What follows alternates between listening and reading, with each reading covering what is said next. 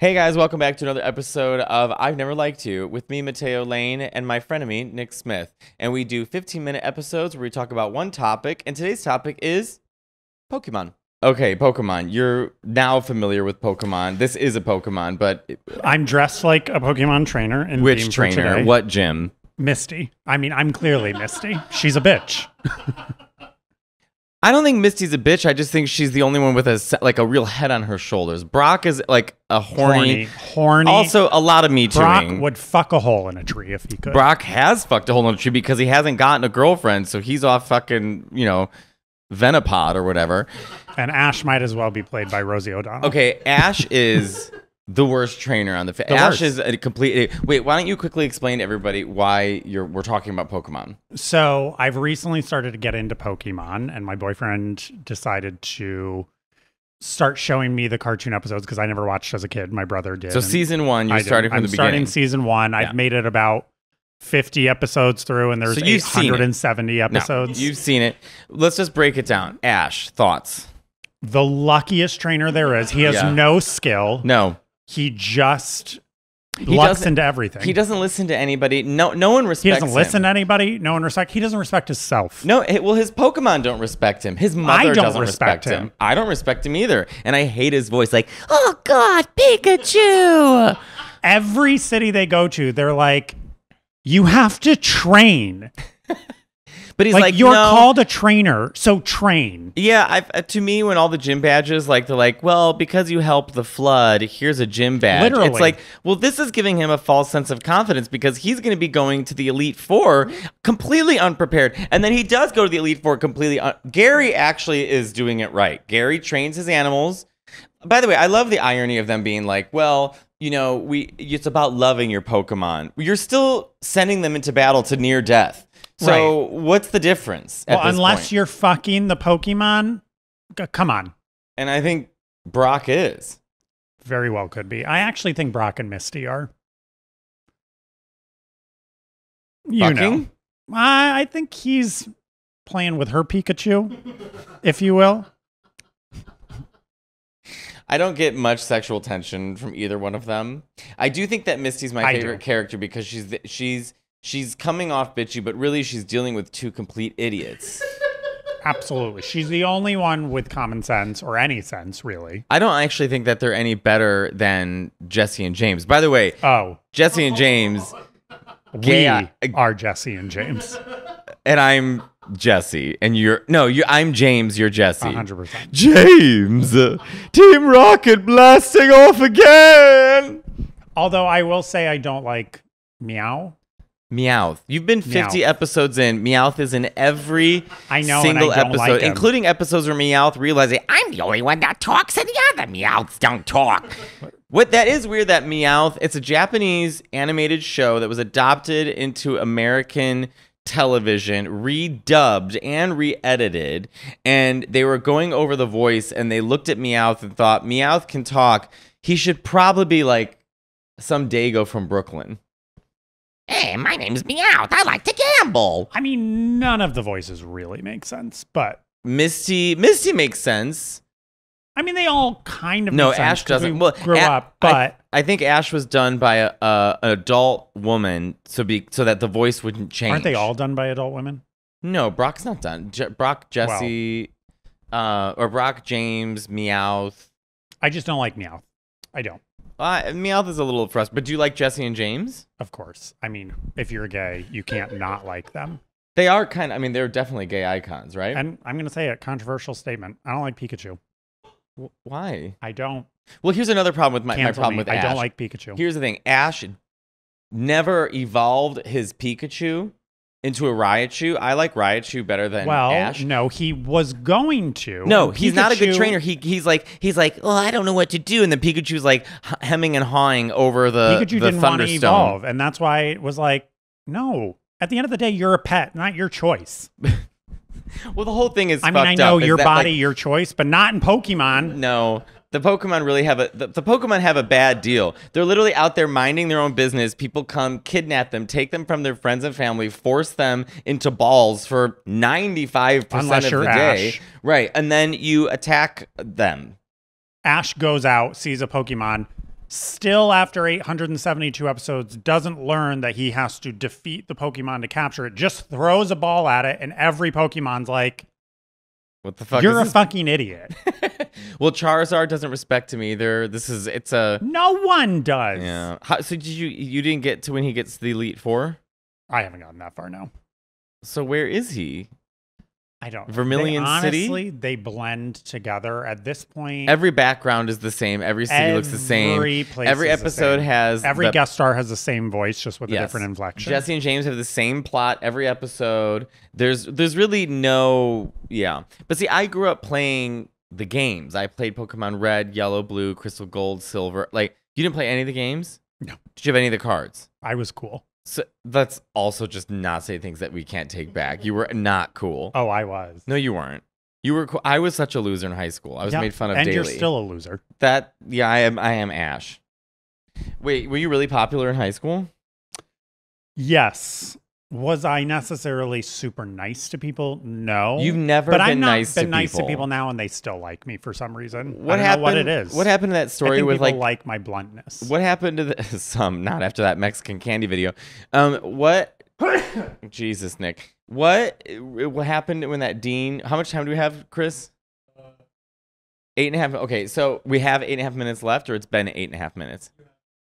Can you tell the story about the dean? This is kind of you are like a, uh Which story? the story that that woman said. Well, Nick spoke to me this way, and then you like yelled. It was it something about your dean in high school or college, or like your maybe like your room Ugh, dorm in college. in college. So So, in this, so Nick's always been this way.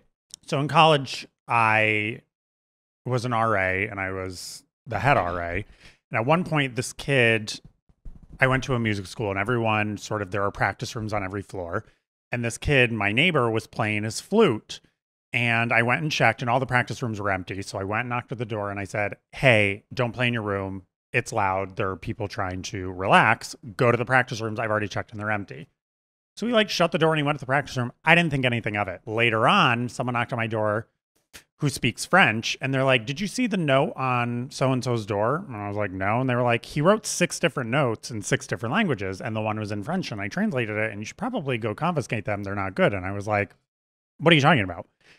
And in the note, proceeds to threaten me, threaten my mother, threaten my boyfriend at the time, hated me, wanted to kill me and everyone close to me. Well, So I presented it to the director of residence life and the dean of students and all of this. And their solution, as most colleges don't know how to handle anything, was to just move him to a different floor because he couldn't kill me if he lived on a different floor, apparently. right. He didn't want to walk up the extra floor. So I Trust up- me, he hated you. So if he wrote six different notes in six different languages, this man was ready to walk up fifteen hundred. and we shared a kill you. communal bathroom. He would have fucking what's that movie with the knife? Had you ever spoken to him before? I mean, in passing, but like we weren't friends. So, anyways, I went and talked to the dean of students after they said that, that they were just moving him up a few floors. And I went to her and I said, Hi, you know, uh, I'm a little concerned that he's only moving up a few floors. My mom comes and visits, my ex comes and visits. And he very explicitly in all of these letters said that he wanted to kill me and my mom and ex. And she go, This is the dean of students, goes, Do you know how many death threats I get? and I wish I could tell my mom, it's time to grow up and maybe don't involve your mom in things. So at that point, she was dead to me. So I was the head RA and I was handling the budget and I got a free meal plan and the cafeteria workers claimed that I was stealing. I don't know how I steal if I was given the, food and drinks Why was everyone coming for you? I don't know. Actually, I do know. I hang out with you You'll all the actually time. find this funny. The cafeteria workers didn't know who I was, and they said the professor with the purse. Fitting. So she, instead of approaching me, approaches my boss because she knew I handled the budget for the entire RA staff and said, He handles the money and he's stealing from this school. He shouldn't do that.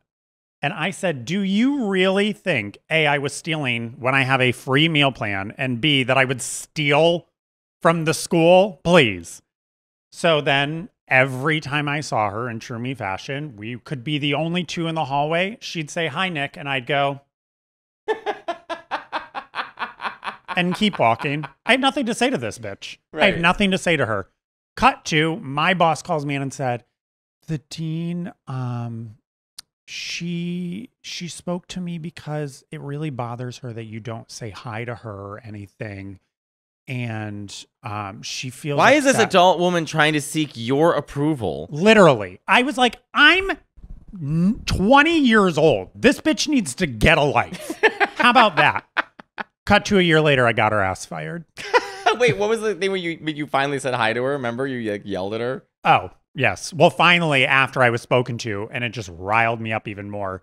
Again, we were in passing or something. She was like, Hi, Nick. And I said, Hi. You can tell them I said hi now. You can tell them I said. Wait, how She never said hi to me again. And then a year later, we got a new president who's gay, and I became chummy with, talked shit about her, and she all of a sudden had to retire. you are a Disney villain. Okay, She's a who said my best friend in college's father died. She took a semester off, came back, but she still still did all of her work from home. Came back, but this they screwed up or something, and she had to do an extra semester. And this dean said to her, "A lot of kids' parents die. they don't take an entire semester off." So no, I don't feel bad that she lost her job. And if you're listening, I don't feel bad. imagine she's your number one fan. Wait, how much time do we have left fan. now? So we have three minutes and forty five seconds left. Okay, and if you- she was a Pokemon, she looked like uh what's the little uh oh fucking that's all of them. One of one of Ash's three and has the vine whips Bulbasaur, Bulbasaur evolved. V- Ivysaur, or Venusaur? Venusaur. That's what she looks like I tie always, in Pokemon. I always went with Squirtle. Squirtle. Okay, if you had to be You a are a Pokemon trainer, what kind of Pokemon would you raise? Who are your favorite Pokemon? You have to make a Um, team, a team of six. Think I would do not water. Because if you're not near Why? if you're not near water, I feel like it's not that effective. I mean, Starmie's my favorite Pokemon. Uh anyway. Why is that funny? Of course it is. Do you know who Starmie is? Not Star You. The huh. Mine's Starmie. Like with the like the jewel, the big. It's purple. Yeah, no, I Misty know. has her. No, I yeah. Starmie was cool because she was also Gay. psychic. Yeah, but she's psychic and water, so she was like, like a powerhouse, and her I would speed want was really high. psychic and maybe rock. You haven't even gotten a Mewtwo yet. I watched the movie. The movie's atrocious. The movie What? is the movie's really oh, I bad. kind of liked the movie. I hate the movie. The movie's really bad. It was just like verbose Mewtwo, and then like him and Mew's fights were stupid. It didn't even make sense. I don't understand Pokemon cards, and my boyfriend plays a little like game on his phone where he battles people with cards and stuff. It- Why doesn't he just play the like actual Pokemon game? No, Like he did that and- already. but this is like a little. I don't know. It's interactive. It doesn't make sense to me, and I won't get into that. So it's like the gay version of fantasy football. Kind of. You're like my husband plays fantasy Pokemon. exactly. He's tra- uh, who he's trading in the in season, off season. yeah, I would do psychic and like the rock ones. The rock ones. Yeah, I feel like they're kind of strong. I would do water, electric, water and electric, and fire. Oh, electric is good. Arcanine, Arcanine, I don't know how to say their name, Zapdos, or like I guess I just can't remember any of their names. Like Riot at the Shoe. end of every episode, they're like, "All right, guys, today we're quoting 20 names, and by the end of the week, you got to listen to all It's five. the Pokemon rap. Remember, who's that Pokemon? I have watched 50 episodes. I, I can only. T- oh, that's the last episode I watched, Jigglypuff, and it pissed me off because I thought of you the whole time. I think of Monet. Wait, how much time do we have? Okay, we have one minute left. Anything else you want to say? Um, Pokemon, are you going to continue watching it? I'll continue watching it. It's an easy like Saturday morning. Would you thing to consider watch. playing the game if I gave you a Game Boy and I No. gave you? Come on, if I gave you I'm a Game not Boy, doing the game. I'm not that involved. I don't like it that much. I just don't. would you watch Avatar: The Last Airbender? What's that? It's a cartoon show. It's only three seasons. How?